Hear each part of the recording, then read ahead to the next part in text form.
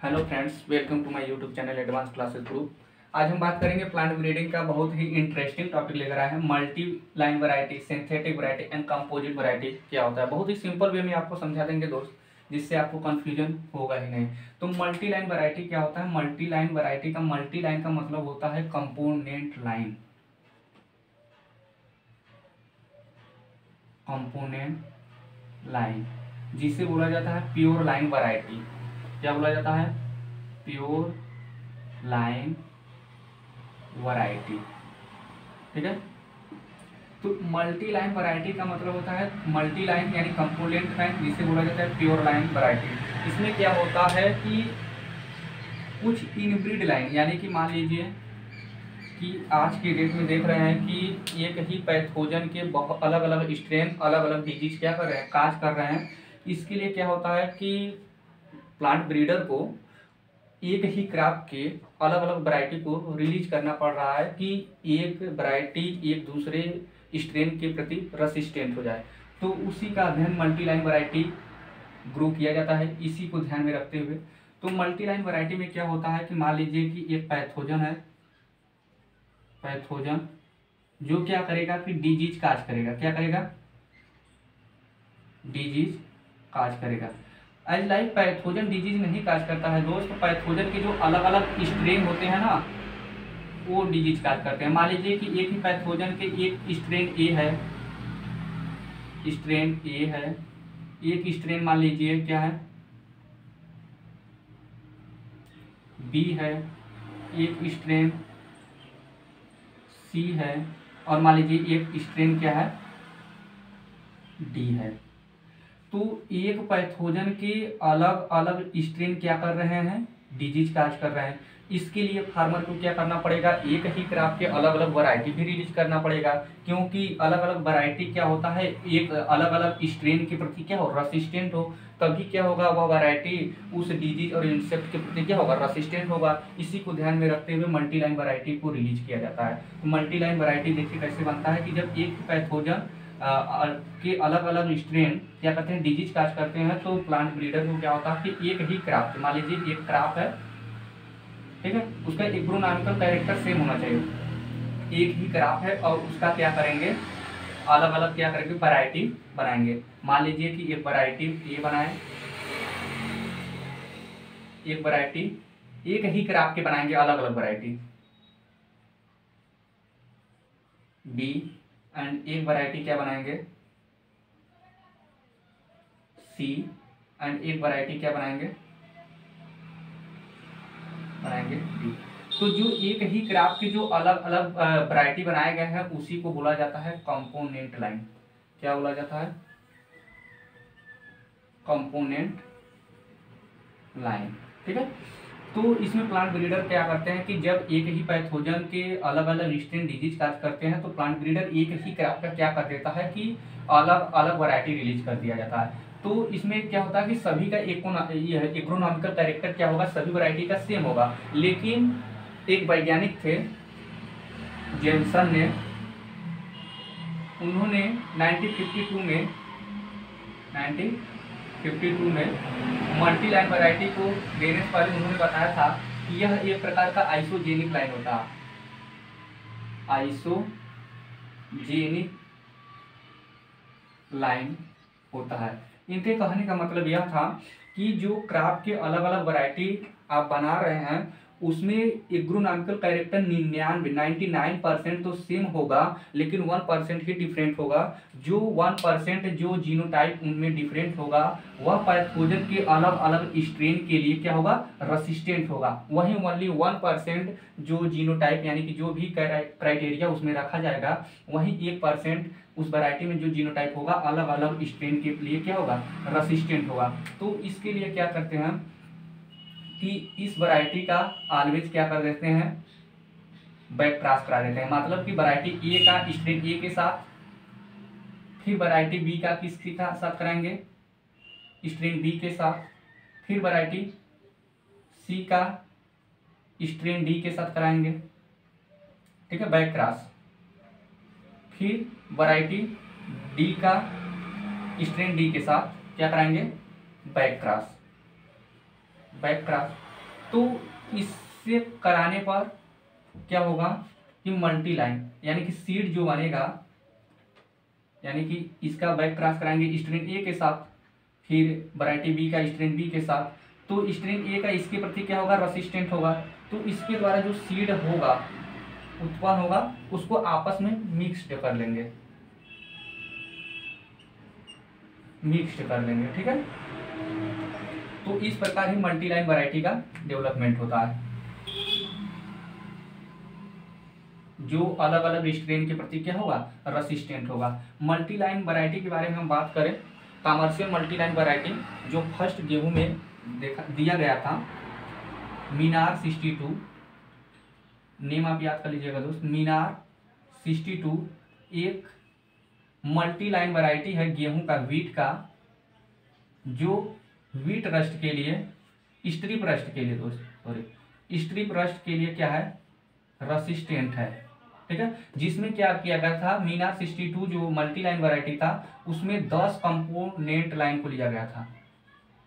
Component line जैसा कि मैंने बताया कि एक ही क्राफ्ट के अलग अलग वैरायटी जो बनाए जाते हैं, उसी को बोला जाता है कंपोनेंट लाइन और मैंने बताया कि जब एक ही पैथोजन के अलग अलग स्ट्रेन होंगे, जब अलग अलग स्ट्रेन है तो अलग अलग वैरायटी हम रिलीज़ करेंगे, जो अलग अलग वैरायटी अलग अलग स्ट्रेन के प्रति क्या होगा? रसिस्टेंट होगा।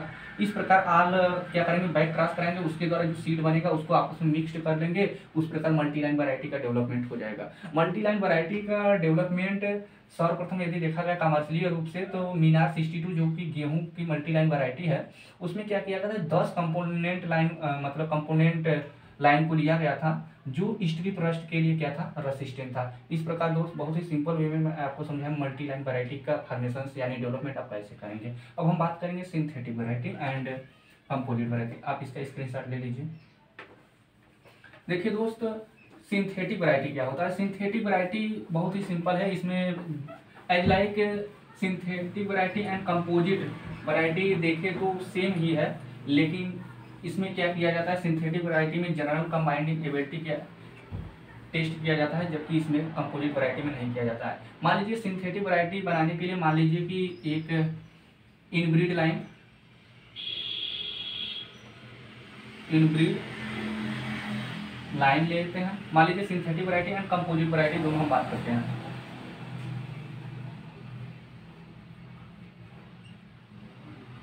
ठीक है? तो इसमें क्या करते हैं कि इनब्रीड लाइन इनब्रीड लाइन क्या होता है? Like a pure line variety होता है। ठीक है? तो इनब्रीड लाइन लेने से पहले इसमें क्या किया जाता है कि जनरल कंबाइनिंग एबिलिटी किया जाता है। जीसीए टेस्ट किया जाता है। General combined ability test GCA test किया जाता है। जबकि इसमें किया जाता है जनरल कंबाइंडिंग एबिलिटी नहीं किया जाता है। Specific combined ability specific combined S C A test किया जाता है। स्पेसिफिक कंबाइंड एबिलिटी टेस्ट किया जाता है, ठीक है? आप बस टर्म ध्यान से सुनिए। और इसमें क्या किया जाता है? जनरल कंबाइंड एबिलिटी टेस्ट किया जाता है। ठीक है? जनरल कंबाइंड एबिलिटी टेस्ट के दौरान ही इनब्रिड लाइन का सिलेक्शन किया जाता है, लिया जाता है। तो इसमें इनब्रिड लाइन कम से कम छः से आठ आप ले सकते हैं। और इसमें इनब्रिड लाइन अधिक से अधिक बीस तक आप ले सकते हैं। ठीक है? तो मान लीजिए कि हम एक इनब्रिड लाइन मान लीजिए छः ले लिए। One two three four five six ठीक है? फिर अब हम क्या करेंगे? जितना भी आल पॉसिबल क्रॉस होगा, हम करा देंगे। आल पॉसिबल क्रॉस एक का एक के साथ करा दिए, ठीक है? मान लीजिए ऐसे ना समझ में आए वैसे भी कर सकते हैं। मान लीजिए कि इन ब्रिड लाइन मान लीजिए छठ ले लिए A B C D E F ले लिए, ठीक है?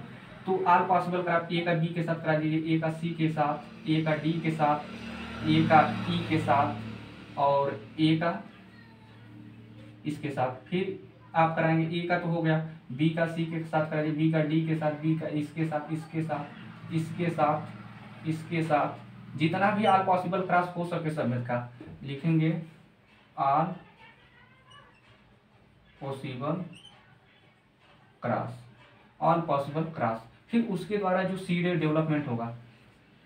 ठीक है? देखिए, समझिएगा आप कि मैंने बताया कि इन ब्रीड लाइन मान लीजिए A B C D E F ले लिए, ठीक है?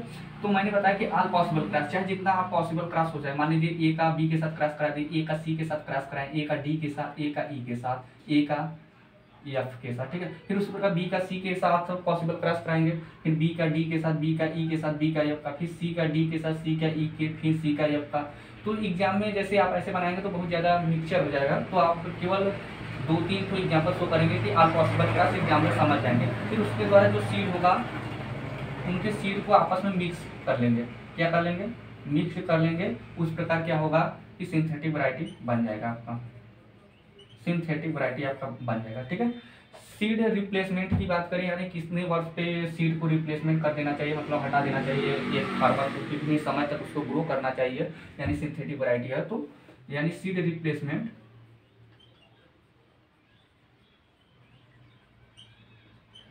three two four year ठीक है? और इसमें क्या किया जाता है कि मैंने बताया कि इनब्रीड लाइन से पहले इसमें जीसीए टेस्ट कराया जाता है। डायरेक्ट क्वेश्चन पूछा जाता है कि सिंथेटिक वैरायटी में कौन सा टेस्ट कराया जाता है तो आपको पता होना चाहिए कि सिंथेटिक वैरायटी में general combined ability test GCA test कराया जाता है दोस्त। तो इस टॉपिक के बारे में भी हम आपको वीडियो प्रोवाइड करेंगे कि जनरल कंबाइंड एबिलिटी क्या होता है स्पेसिफिक कंबाइंड एबिलिटी क्या होता है स्पीडली ठीक है? तो हम बस इसमें बात करेंगे सिंथेटिक वरायटी आपने कैसे बनाया? इनब्रिड लाइन लिया, फिर आल पॉसिबल क्रॉस करा दिया। उसके द्वारा जो सीड बना, उसके सीड को आपस में मिक्स कर लिए। इस प्रकार सिंथेटिक वरायटी बन गया। कंपोजिट वरायटी में क्या होता है कि आप जितने भी इनब्रिड लाइन मैंने बताया कि बीस तक आप ले लीजिए। मान लीजिए कि एक, दो, तीन, चार, पाँच छः सात, अपना ले लीजिएगा। ठीक है? फिर उसमें भी आल पॉसिबल क्रॉस करा दीजिए। ठीक है? जितना भी हो सके आल पॉसिबल क्रॉस आपने करा देंगे, ठीक है? ऑल पॉसिबल क्रॉस जैसे इसमें कराए थे। जितना हो सके पॉसिबल का मतलब जितना संभव हो सके उतना क्रॉस करा दीजिए। लेकिन ये नहीं कि एक का बार इससे कराए तो फिर रिली मतलब दोबारा उसी से नहीं कराना है। All possible cross. फिर उसमें क्या करता है, उसके सीट को मिक्स कर दीजिए।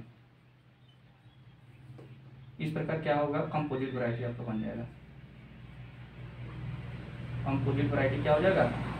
बन जाएगा। बस अंतर यही होता है कि कंपोजिट वैरायटी में जीसीए टेस्ट नहीं कराया जाता है, जबकि इनब्रीड लाइन मतलब सिंथेटिक वैरायटी बनाने के लिए जीसीए टेस्ट कराया जाता है। सिंथेटिक वैरायटी जो होता है कंपोजिट वैरायटी से अच्छा माना जाता है, क्योंकि इसमें जीसीए टेस्ट कराया जाता है जनरल कंबाइंडिंग एबिलिटी उसमें क्या किया जाता है, जबकि इसमें क्या specific combined ability specific combined ability का मतलब होता है कंपोजिट वैरायटी हमेशा बात की जाता है फिनोटिपिकली यानी उसके फिनोटाइप कैरेक्टर्स के अकॉर्डिंग ही उसमें किया जाता है कि जैसे कंपोजिट वैरायटी हमेशा फिनोटाइप पर डिपेंड करता है। पर फिनोटाइप पर डिपेंड करता है कि प्लांट की हाइट क्या है प्लांट में टिलरिंग की संख्या क्या है ग्रेन की हाइट क्या है ग्रेन का मतलब प्लांट का प्रॉपर ग्रोथ हो, हो रहा है कि नहीं। यानी फिनोटाइपिकल कैरेक्टर्स को देखकर ही मतलब क्या बोलते हैं कि इनब्रिड लाइक का सिलेक्शन किया जाता है? तो इस प्रकार मैंने बताया कि कंपोजिट वरायटी कैसे बनाएँगे और मैंने बताया सिंथेटिक वरायटी एंड मैंने बताया मल्टी लाइन वरायटी तो इसी के साथ मैं इस वीडियो को समाप्त कर देता हूँ दोस्त। आप इस वीडियो को एक बार देखिएगा, आपको आसानी से समझ में ही भी आ गया होगा। Thank you